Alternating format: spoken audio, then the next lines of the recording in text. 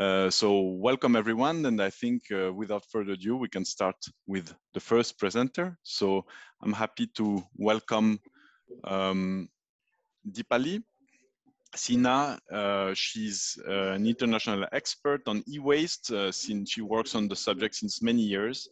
And she's also the managing director of Sofies uh, in India. Sofies is a consulting firm that is specialized on, on those questions. So Deepali, you, have, you have the floor. Thanks, everyone, and thanks, Charles, uh, for the introduction. Uh, very good morning, good afternoon, good evening, uh, wherever you are uh, logging in and joining. Uh, very happy to be participating here on uh, this virtual platform. I am not able to still share my screen, so if I just get the permission, yes, okay, now it's done. So what my topic is, is looking at the new newer uh, forms of e-waste uh, on uh, solar panels. This is a project that we've been doing for the last couple of years here in India. And I just thought I'll take these next five minutes to share a couple of insights, uh, you know, from the work that we've been doing. So, you know, of course, uh, solar panels uh, are becoming very popular. There is a lot of investment in solar technology. And a lot of countries have uh, really made it possible through many various ways to deploy many. And india is one of those uh, you know it's got uh, the fifth largest uh, install install capacity of uh, solar pv and of course this has a lot of advantages but it has you know the risks. And you know we're particularly interested at the end of life uh, what are the risks? And we did some quick calculations and we expect that in India, about four and a half to seven and a half million tons of PV panel will be generated, uh, you know, in the next upcoming 30 years or so. So it's not a small amount. It is, uh, you know, fairly equivalent to what we're doing in, in terms of electronic waste itself these days. So uh, it will become a big problem. And uh, that's that's what was the motivation to, you know, really look at solar panel solar technologies to say, okay, there are a lot of positive environmental and social impacts that come out of it. And how can this be continued even at the end of life? Uh, so the whole life cycle has a positive impact. And now that, uh, you know, at the end of life, it's leading to some contaminations. And uh, looking at how can circular economy principles be applied to solar energy you know where are there opportunities to reuse panels refurbish panels and then of course uh, you know for those that are really broken can't be repaired uh, what are technologies to recycle them. So with this uh, kind of intention, we designed a first phase of a project, which was really to collect uh, a first lot of uh, solar panels. Uh, you know, how do we get access to them? What is the cost? What are some of the technical aspects? And then uh, get you know interested recyclers to really design and and be able to treat these panels or at least you know have a first chance to uh, understand what are some of the technical challenges as such uh, so because there was uh, this was in 2018 when we started this. There was no technology uh, in india uh, it still isn't uh, really advanced to be able to collect and recycle these kind of products at the end of life. And then once we had a little bit of traction um, and the first phase was, was sponsored by signify and then together with Signify and the Doen Foundation from the Netherlands, uh, we extended this uh, pilot uh, to a second phase, which was uh, to first of all uh, look at you know expanding the technology, the capacity to treat these panels, look at some LCAs, also look at how can we look at rural collections because so far we had looked mostly at collecting from utilities so all in, in, in one place, a large volume. But uh, what would it mean if it was distributed? So uh, that was, uh, you know, one of the, uh, the, additional elements of the, which is going on right now in the current phase. So yeah, so this is just a quick, uh, you know, introduction to the pilot design where we want, we set a target. Uh, we said, okay, we're going to design and fabricate these machines to be able to deframe the panels, shred them, crush them, and sort them.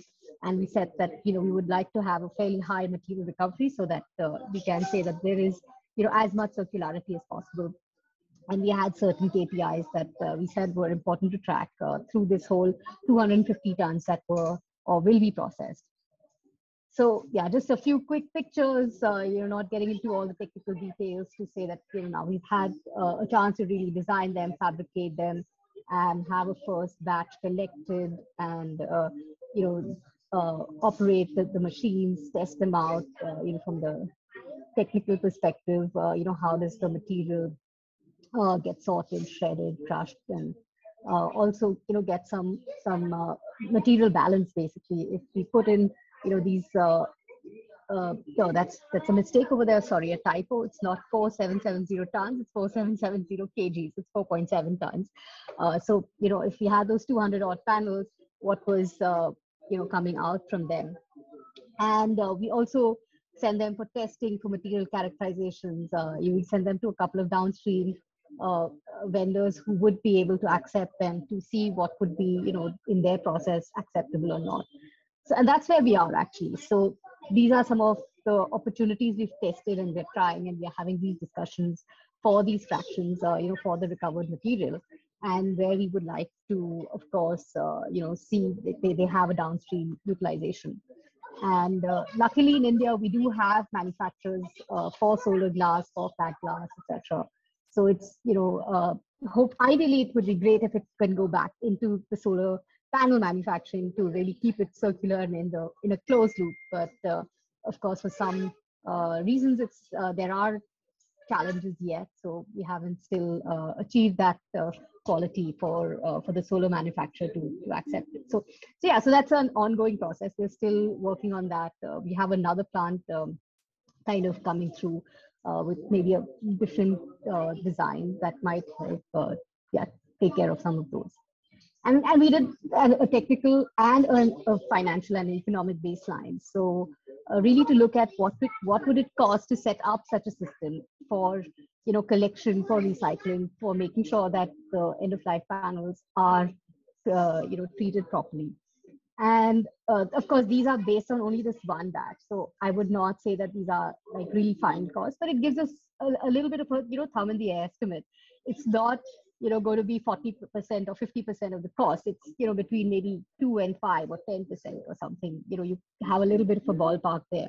And what is really interesting is that the biggest cost is actually coming from the transport because you know of the size of the country we had panels from all around going into one place and that was really adding to the cost. So if there are ways to optimize it uh, you know these costs can be brought down uh, quite significantly uh, when you have volume when you have transport efficiencies etc so, uh, yeah, just to quite quickly conclude uh, and not overrun my time, uh, I, you know, wanted to just share a few observations um, from the, you know, panels that we have so far collected. So we have actually got access to about 150 tons already now, which are being processed at this pilot plant. Uh, you know, the second unit, as I mentioned, uh, will be commissioned soon. So we will have a, a chance to really compare two designs and uh, technologies in that sense. And uh, some of the things that we've come across in these two years or so is that there is more and more solar panel waste coming. We get more inquiries, uh, you know, for from people who say, okay, we have uh, 1,000, 2,000, 10,000 panels uh, which need to be dismantled and, and disposed of. Uh, how can you help? Uh, the challenge is actually still in the mindset of the consumers because they expect to get some value from it, not realizing that it does take time and effort and cost to actually you know collect them and treat them. So that's still something that is not fully understood.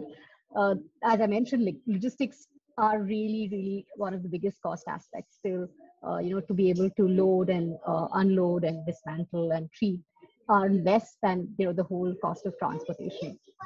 Um, and what we also found is that you know the composition is very variable. So you know it's it's difficult to know exactly uh, if you have two different batches you will have a, a, a, kind of similar composition of the fraction. So that's something that we still need to figure out what would be a normalized uh, kind of material composition.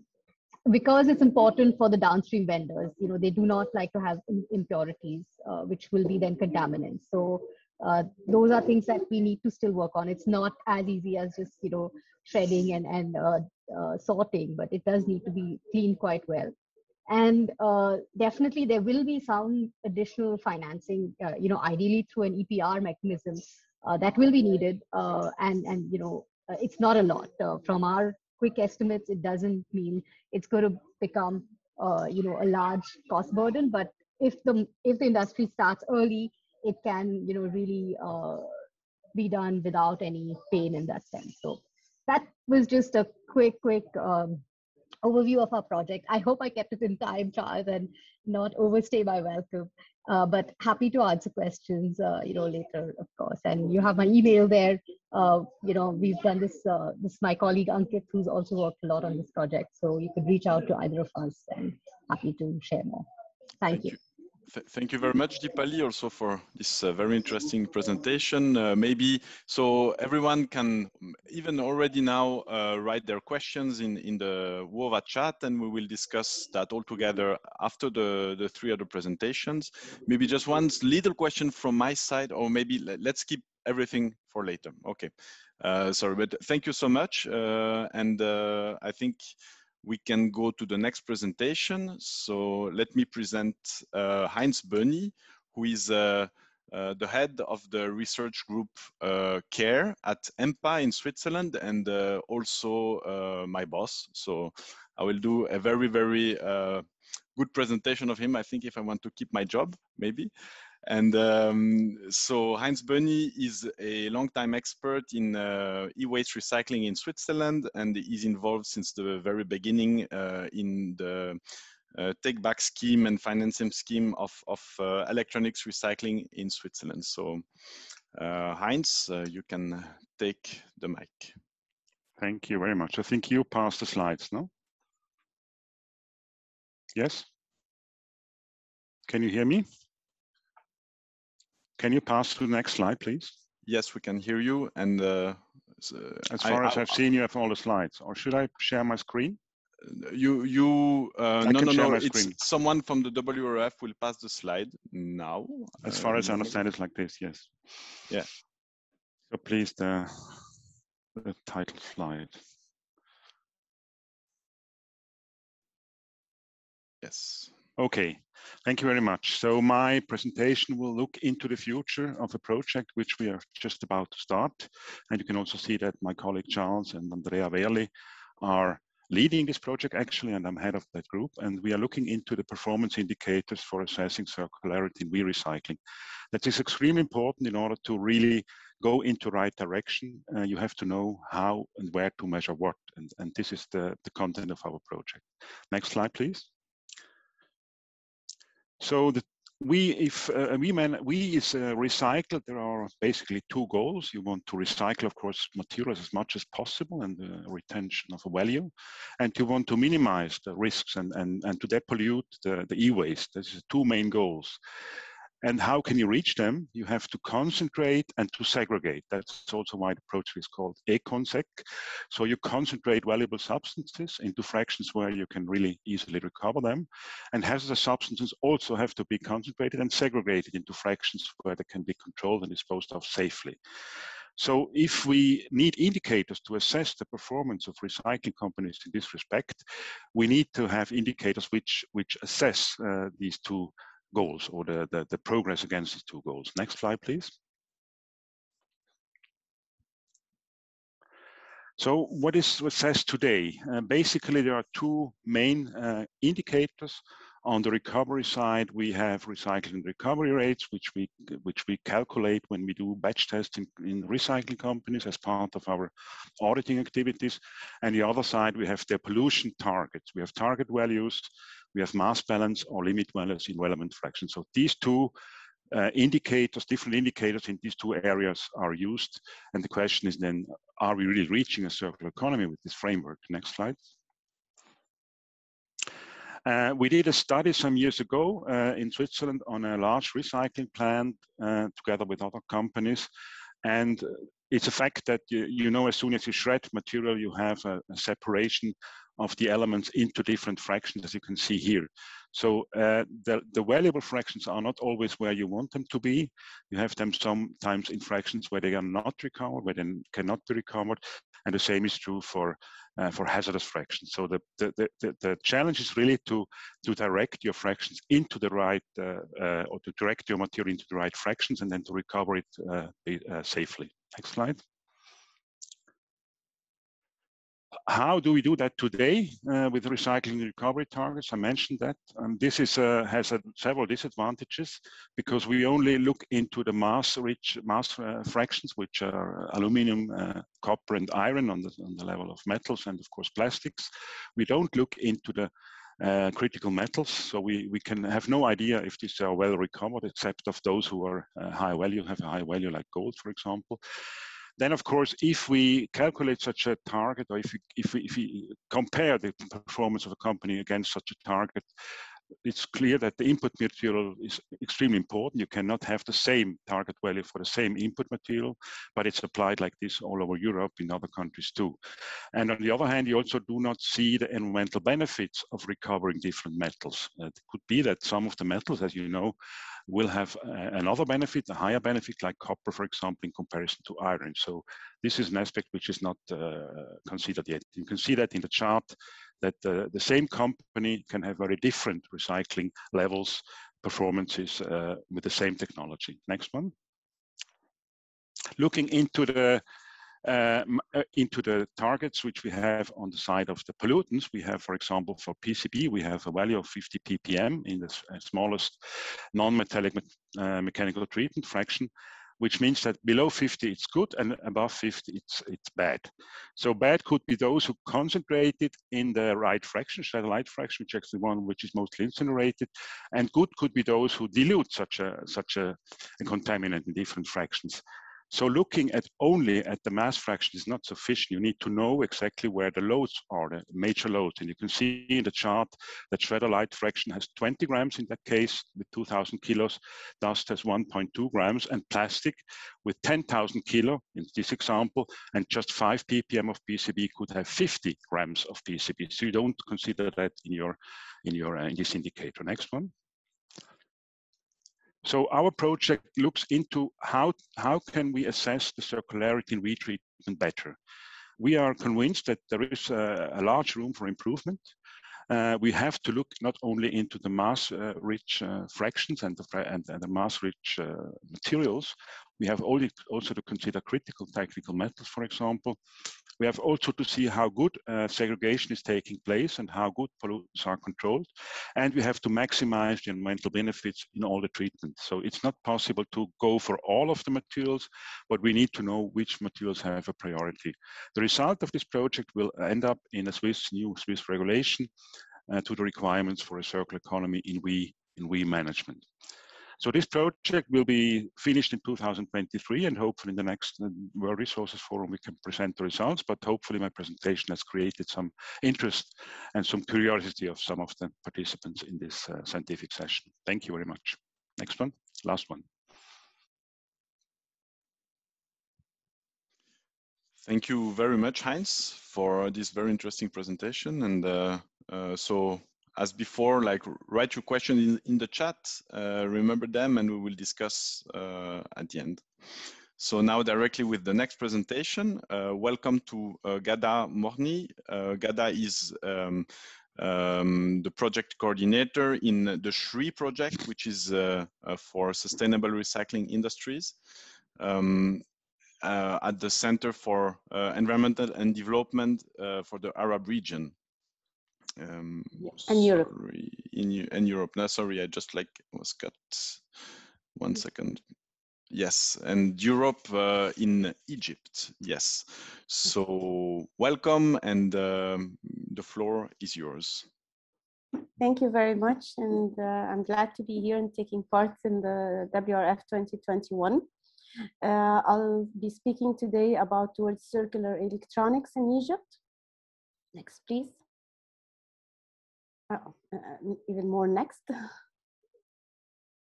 okay, uh, according the last published global e-waste monitor for 2020 has established that there are 53.6 uh, tons uh, globally uh, e-waste generated in 2019.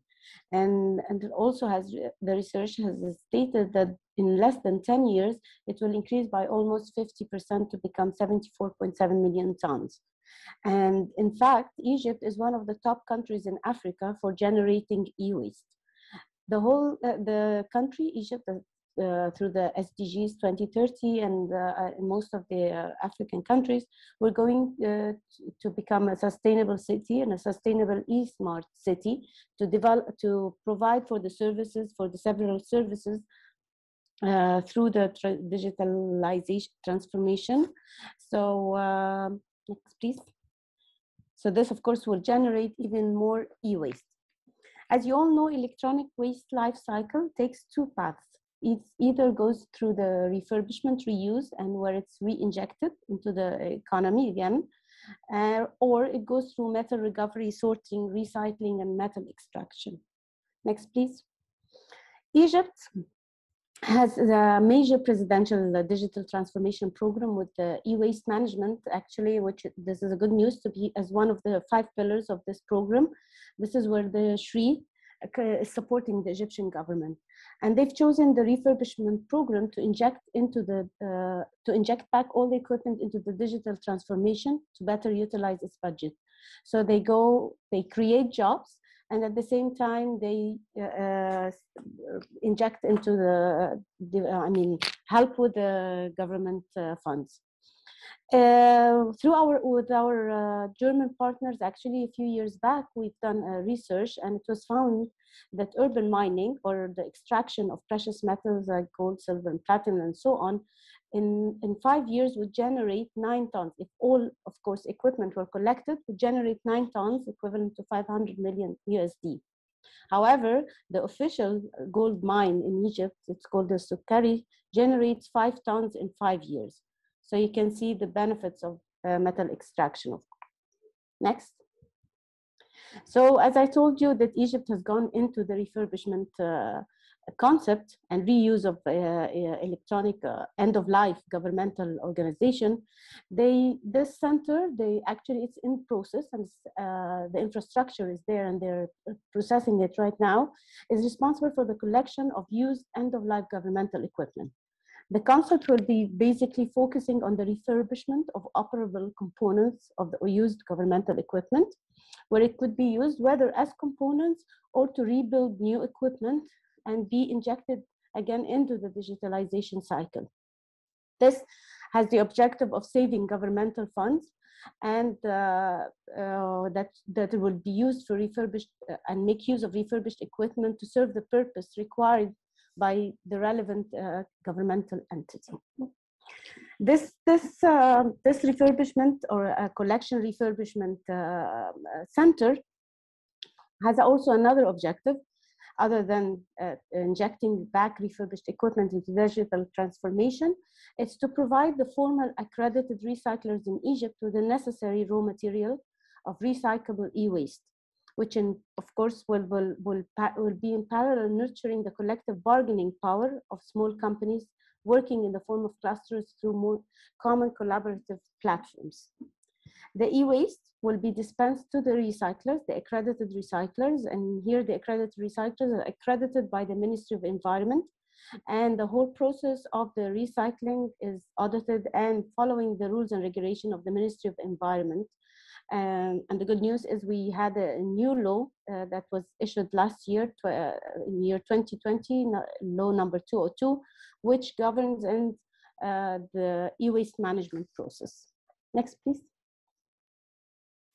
Actually, this is the, I just wanted to share with you what this collection and refurbishment center uh, looks like.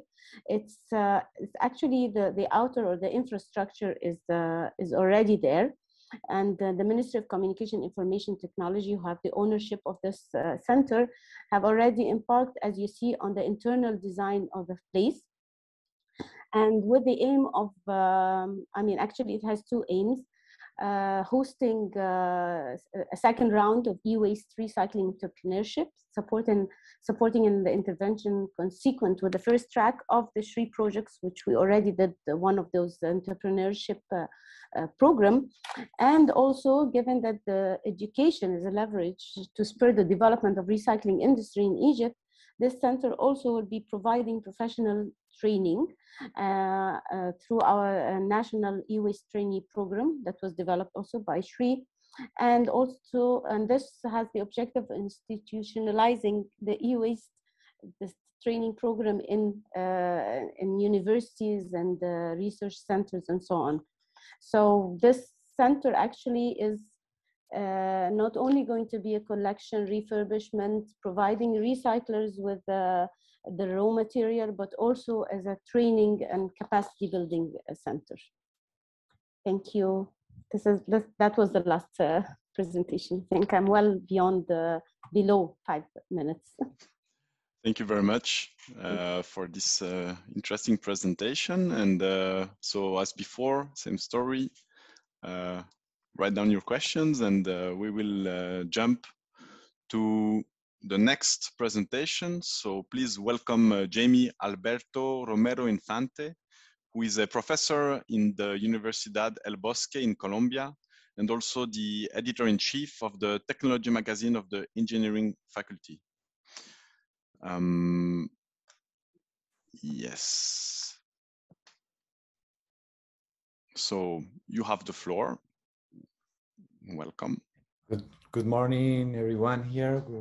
Good evening there. Uh, I am here in Bogota and I am delighted for, for having this presentation, how to reverse the unsustainable behavior in the electronics, chemical, Latin American and Caribbean industry in 2000, 2001. Um, the context of the presentation uh, in Latin America, uh, the chemical and electronic industry, uh, changing the habits of the people, consumers here in the, in the industry, in the region. Uh, the institutions involved are UNEP and Universidad del Bosque, and the method that we follow was the uh, application of one survey in the all actors, between all the actors that we have in the, in the region, uh, in order to understand how they are um, understanding the cycle, the life cycle method of symbiotic uh, approach for having the reduce of the waste and the and to re re recover the the materials that we have in the industry. Next, please. Next slide, please. Okay, uh, the purpose of this is to do a type of, of roadmap for having the transition to a circular economy in the in the region uh, for this industry. Mm, the, the study frame is a, a, a survey that we proposed, uh, but some uh, kind of changing uh, habits and to promote the uh, habits habits for for having as a sustainable consumption of this uh, industry, these consumers.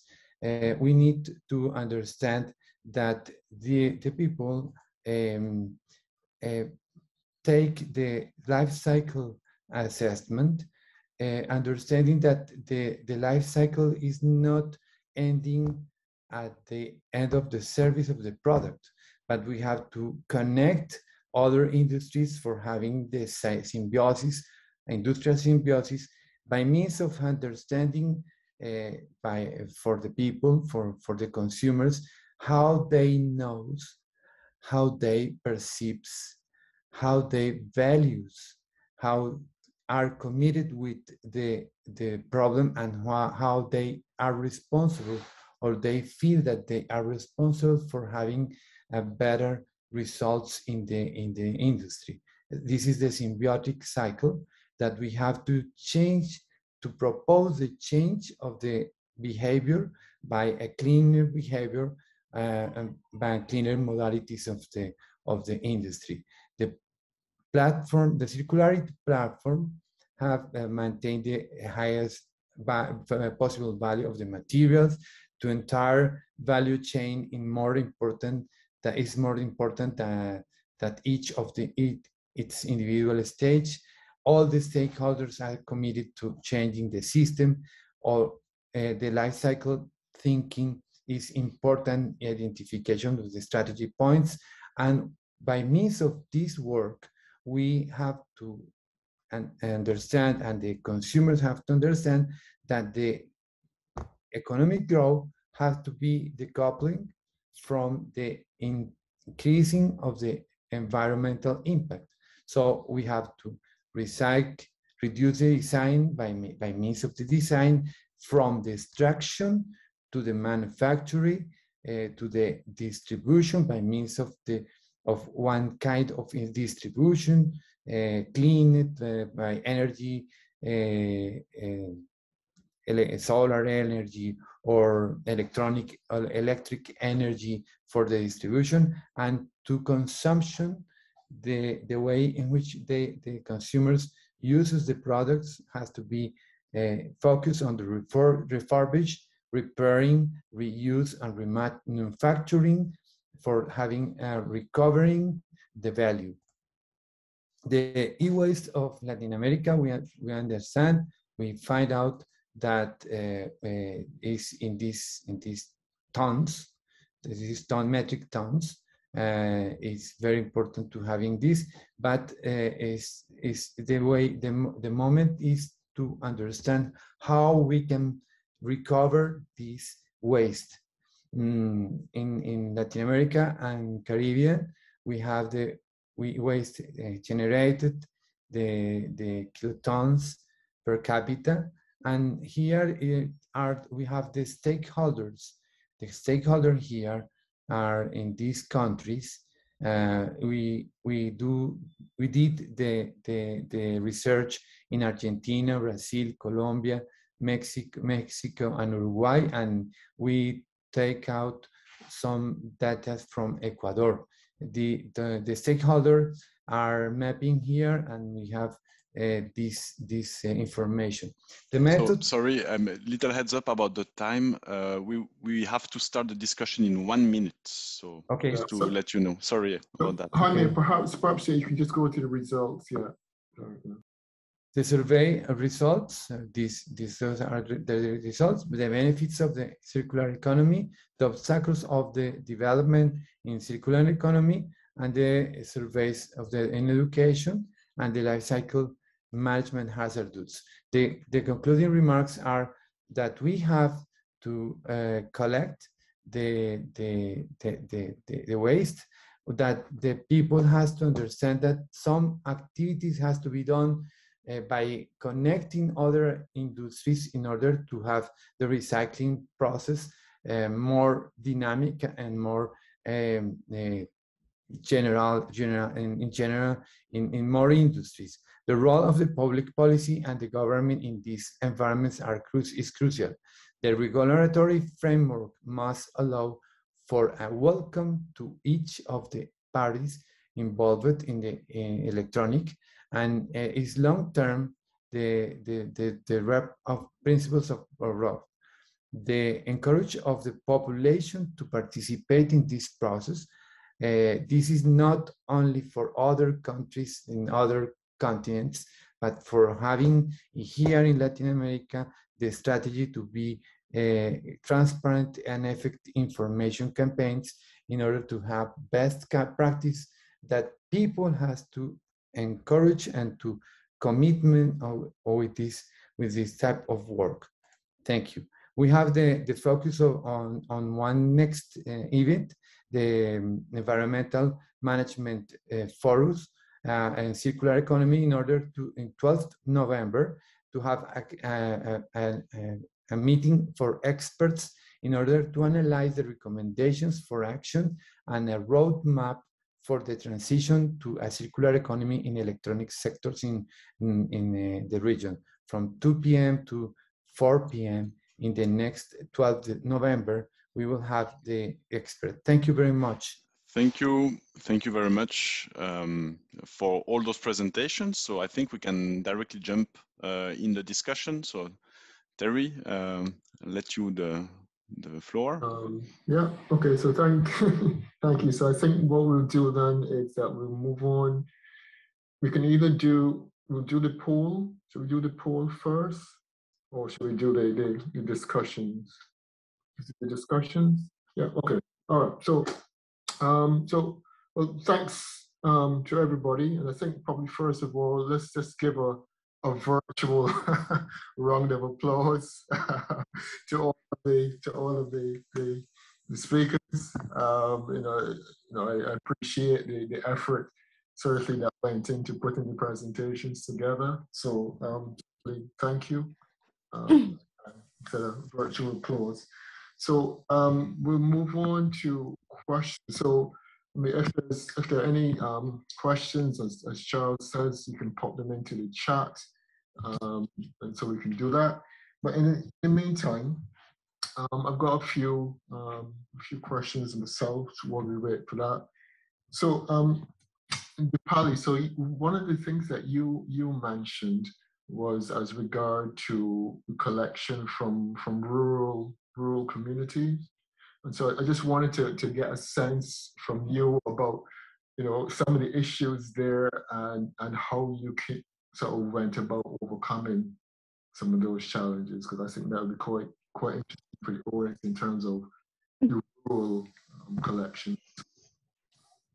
Uh, no, thanks for that question, Terry. It's really something that uh, we are still actually uh, trying to find the answer to. So we have uh, been obviously looking at the whole off-grid space uh, because that's where a lot of these products, a lot of these uh, installations are. And you know, we've done a kind of mapping in the country where there is more off-grid, off-take, where there are more installations. And now looking at partners, how we can really go into those rural areas to be able to collect them, uh, aggregate them, and then transport them. So there are quite interesting players. There are you know companies that really specialize on this last mile in the rural context uh, to more distribute products. So we are looking at how can we use those logistic networks to uh, also bring back products, uh, you know, maybe for repair, maybe for recycling.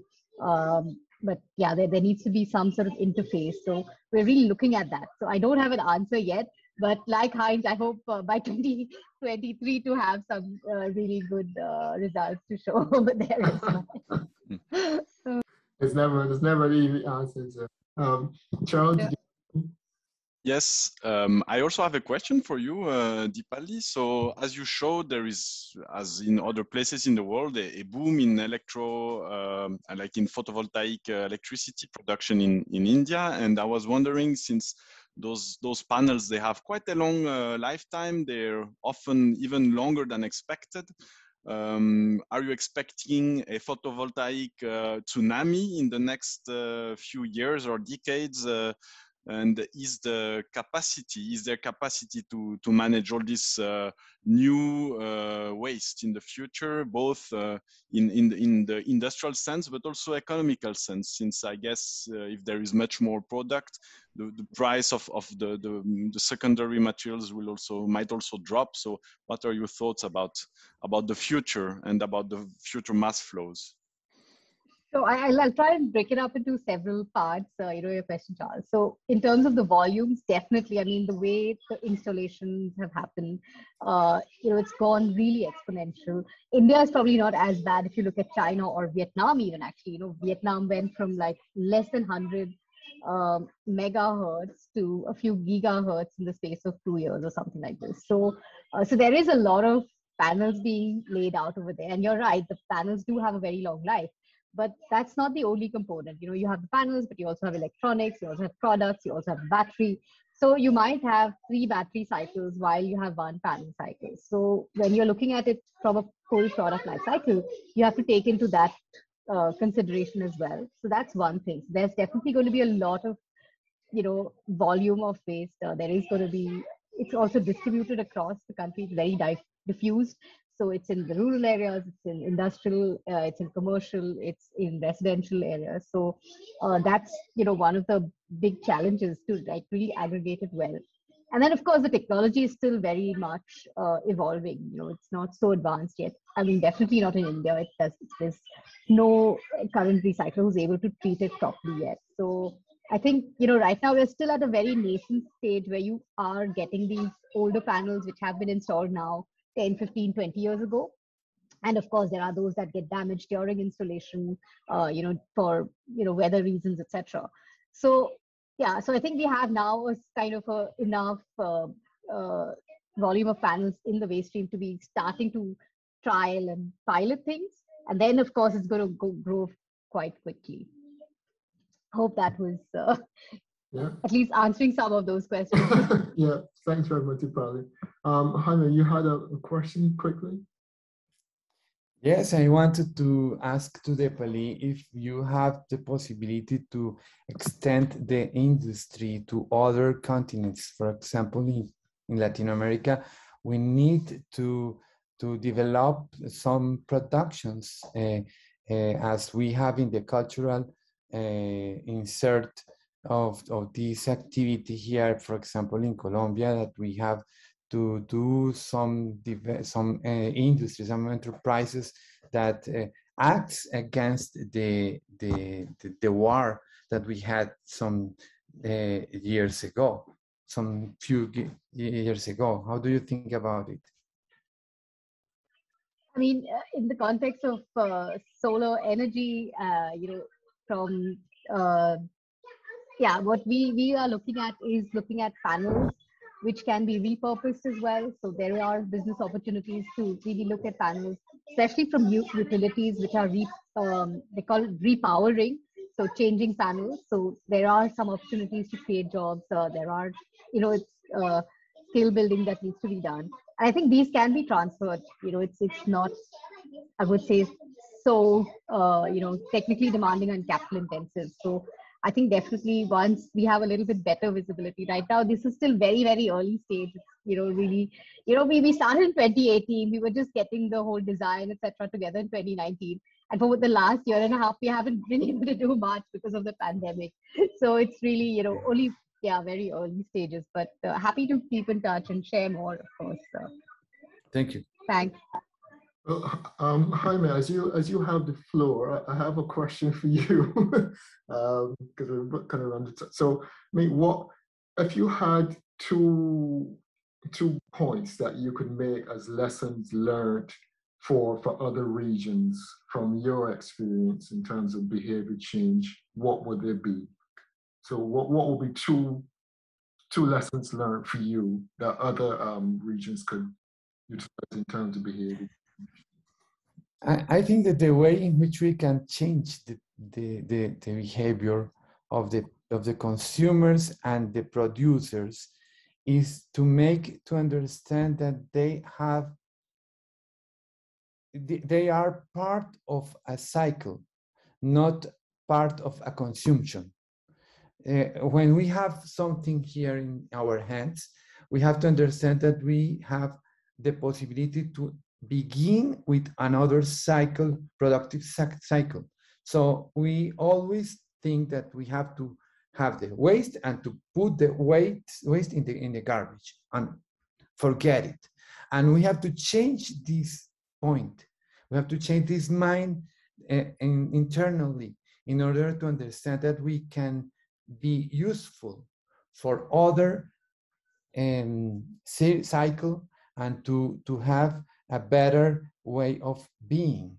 Uh, the, the, not only in our products, but in our ourselves. We have to understand that we are changing and we have to change and we have to understand that our productivity is missing if we have all, uh, the, the waste. The waste are not, is not excess, existence.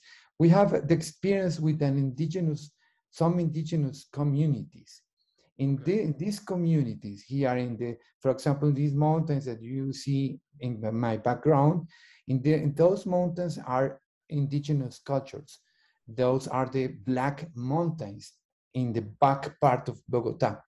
And with a beautiful lakes, we are, are, there are some communities that I, they understand that no waste is possible no waste are produced by them. And they are thinking that all the things that they have in their hands has to be useful and has to be used. And the, the boys and the girls, the, the, the children that we have in the, these, those communities are inside the nature. So are they are well, okay, but I know I, I know you could probably go on for for for many for quite a long, but we kind of run out of time. So we want to get to uh, a few more questions, particularly for Ghada. yeah. so thank you very much.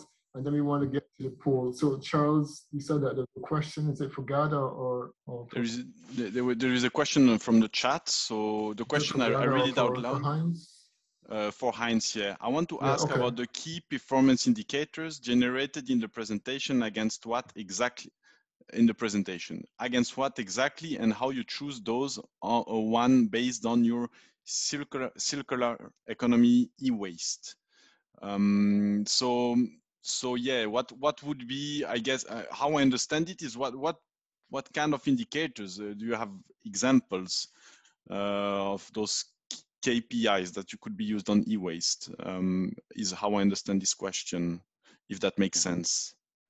Yes, uh, thank you. I, I gave already a short uh, response in the chat also. I don't know if you can see that.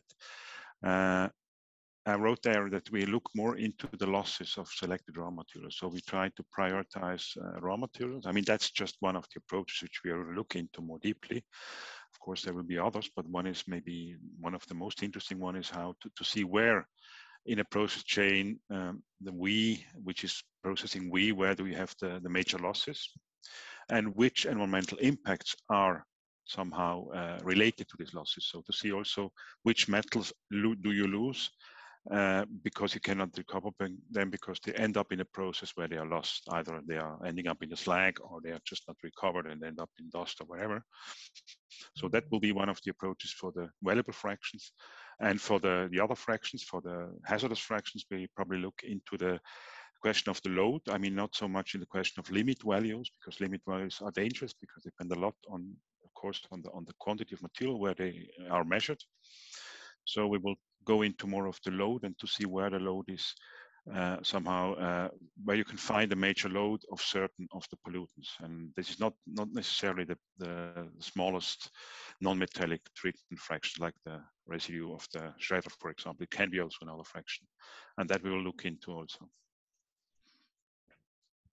Okay, thank you very much. Thank you. Then, so I've got one one last question then for for Ghada.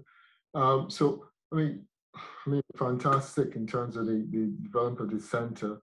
So what what would you what would you kind of advise, suggest uh, to others that might be looking to develop a, a similar center? What You advice? mean, would- you mean develop a similar center in a different in another country? Yes, in, or- another in another country. Yeah. Well, I think it's it's, it's a very good model. It's a very good uh, business model because uh, and it, it came from the awareness and and um, uh, of the government of the Ministry of Communication Information Technology, and they saw the benefit in making use of the refurbished or reuse of equipment to uh, save uh, the uh, on governmental funds. So, and I think this is a very good business model that could be used in a lot of developing countries because this um, fund saving is very economical and, and, and at the same time it serves the circular economy purpose and by injecting all these equipment or components. I mean, they don't have to be equipment, but they could also be components. And that will ensure also that whatever goes to recycling is completely um recyclable and uh, whatever is uh, usable is uh, completely utilized. So I think it's a very good business model for developing countries and for saving funds and uh, working towards circular economy. Thank you very much. Thank you. Thank you.